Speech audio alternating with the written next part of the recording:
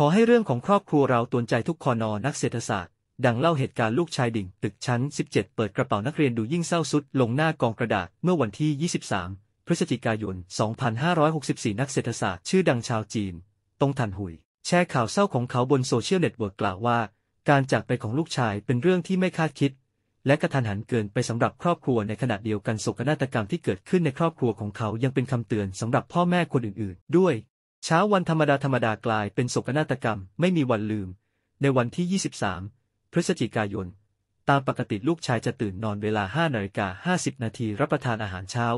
และขึ้นรถบัสไปโรงเรียนพร้อมกับแม่ของเขาแต่วันนั้น แม่ต้องรีบไปเร็วกว่าปกติ จึงวางเงินไว้เป็นค่าอาหารเช้า ให้ลูกกระทั่งเวลาประมาณ6นาฬิกา30 นาทีพบว่าเครื่อง ระบุตำแหน่งบนนาฬิกาของลูกชายยังคงอยู่ในบ้านสามีโทรถามภรรยาภรรยาว่าลูกลืมนาฬิกาไว้ที่บ้าน หรือไม่หลังจากได้รับคำยืนยันว่าไม่ได้เป็นเช่นนั้น เขาก็รู้สึกว่ามีบางอย่างผิดปกติ จึงรีบออกตามหาลูกชายทันที ผมค้นหาไปทั่วอย่างบ้าคลั่งและค้นพบลูกชาย หลังจากผ่านไป 20 นาที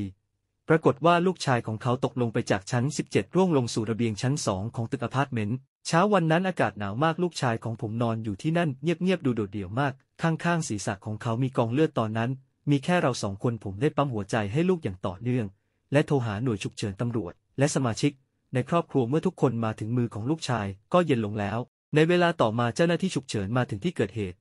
ยืนยันว่าเด็กชายเสียชีวิตแล้ว พวกเขาบอกว่า ไม่มีความหวัง ที่จะรักษาอีกต่อไปแล้ว ผมต้องเฝ้าดูลูกเสียชีวิตอย่างช่วยไม่ได้ โดยไม่สามารถทำอะไรได้เลย ผมจะไม่มีวันให้อภัยตัวเอง ผู้เป็นพ่อเล่าอย่างเจ็บปวด การจากไปของเด็กชายสร้างความตกตะลึงครั้งใหญ่ ให้กับครอบครัวไม่กี่วันก่อนเกิดเหตุ เขาถึงกับบอกแม่ว่าใกล้จะสอบวิชาพละศึกษาว่า แม่ครับช่วยทำอาหารอร่อยๆเติมพลังให้ผมหน่อย ไม่พียงเท่านั้นเขายังโชว์ภาพวาดที่ยังวาดไม่เสร็จ ให้พ่อดูอีก ด้วยลูกบอกว่าลูกกำลังวาดภาพใหญ่แตกต่างจากครั้งก่อนคราวนี้ลูกใช้ปากกาลูกลื่น และร่างภาพเสร็จแล้ว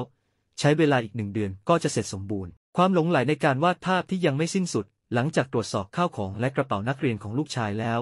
ผู้เป็นพ่อก็พบกับกองกระดาษสนาที่มีภาพวาดที่ยังเขียนไม่เสร็จอยู่จำนวนมากในสายตาของเขาแม้ว่าลูกชาย จะมีผลการเรียนกลางๆ แต่ก็มีบุคลิกที่ดีมากชอบวาดภาพเล่นฟุตบอล และมีเพื่อนสนิทมากมาย และเขายังคงไม่สามารถยอมรับการจากไปอย่างกระทันหันของลูกได้ หากเขาเห็นกระดาษแผ่นหนึ่งฉันจะหยิบปากกาออกมาและวาดอย่างตั้งใจจนกว่าจะจากโลกนี้ไป ผู้เป็นพ่อกล่าวถึงลูกชายผู้มีความหลงใหลในการวาดภาพมาก ๆ มาตั้งแต่อายุหนึ่งขวบมักเล่าให้พ่อฟังหลายครั้งเกี่ยวกับความฝัน ในการเป็นศิลปินที่ยิ่งใหญ่ถึงกับตั้งตั้งชื่อวิชาของตนเองว่า จิตรกรผู้ยิ่งใหญ่ คุณพ่อเล่าด้วยว่าลูกชายของเขาเพิ่งเรียนมัธยมต้นมาได้สองเดือนแต่ในช่วงเวลาสั้น ๆ นั้นดูเหมือน จะสูญเสียความหลงใหลในการวาดภาพและเศร้าโศกเป็นเวลากว่าสองเดือนในโรงเรียนมัธยมต้นทุกวันลูกต้องทำการบ้าน จนถึงดึกดื่น และบางวันต้องทำงานพิเศษ ในเช้าวันรุ่งขึ้นก่อนที่จะไปโรงเรียนโรงเรียนมีการทดสอบทุกสัปดาห์และผลการทดสอบส่งผลต่ออารมณ์ของเด็กอย่างมาก เมื่อใดก็ตามที่เกิดเหตุการณ์เช่นนี้เด็กชายมักจะหยิบหนังสือเล่มโปรดขึ้นมาอ่านซ้ำแล้วซ้ำอีก ตั้งข้อสงสัยว่ารับแรงกดดันทางวิชาการมากเกินไปผู้เป็นพ่อยังคงจำภาพลูกชายที่กลับบ้านหลังสอบครั้งล่าสุด ได้แจ่มชัดตามข้อบังคับของโรงเรียนนักเรียนจะต้องนำหนังสือทั้งหมดกลับบ้าน ผมยังจำภาพลูกชายแบกเป้ใบหนักๆบนไหล่ ได้ชัดเจนมีกระเป๋าหนักหนังสือหนักมาก จนมีรอยแดงเกิดขึ้นหนึ่งวันก่อนเกิดเหตุลูกถูกวิพากษ์วิจารณ์ในกลุ่มแชทในชั้นเรียนยนที่ ไม่ทำการบ้านลูกชายของผมค่อนข้างเชื่อถือในตัวเอง และอาจจะทนไม่ไหวผลสอบกลางภาค ไม่เป็นไปตามที่คาดลูกกลับบ้านด้วยสีหน้าเศร้าใจตอนนั้นภรรยาของผมต้องปลอบโยน และให้กำลังใจจะลูกอย่างมาก เขายังเล่าให้ผู้สื่อข่าวฟังว่า